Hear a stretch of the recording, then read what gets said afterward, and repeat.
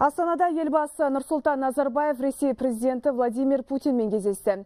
Тараптар сауда экономика, инвестиция және көлік транзиті саласындағы ынтымақтастық мәселесін талқылады. Сондай халықаралық маңызды жайттар жөнінде де пікір алысты. Нұрсұлтан Назарбаев екі жақты қарым-қатынасы одан әрі дамытуда бұл кездесудің маңызы жоғары екен атап өтті. Сонымен қатар президент алдымызда келе жатқан маңызды шараларға тоқталды. Ұлы жеңістің 70 жылдығы мен Қазақстанның тмд төрағалық ететіндігін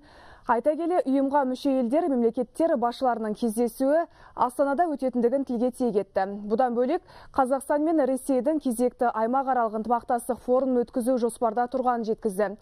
Үш мемлекет басшысының алдағы кездесуі өңірдегі және әлемдегі басты оқиғаларды саралап, жаһандық дағдарысқа қарсы шараларды әзірлеуге септігін тигізеді деді президент. Өз кезегінде Владимир Путин осы кездесуді ұйымдастырғаны үшін Нұрсұлтан Назарбаевқа алғысын жеткізді.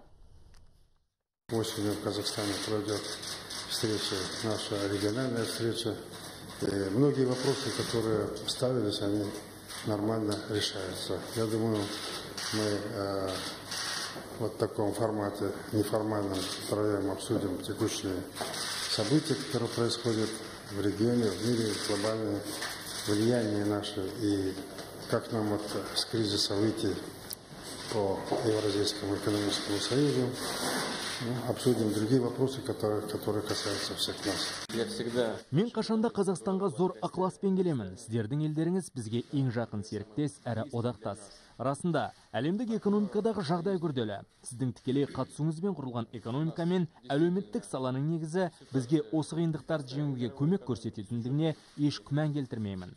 Бұған дейінгі жылдардағыдай барлығын бірлесе атқарсақ, бүгінгі қиындықтардан қиналмай өтетін боламыз. Сондықтан да сіздің шақыртуыңыз екі жақты қатынастарымызды саралап, интеграциялық мәселелер талқылауға мүмкіндік бермек.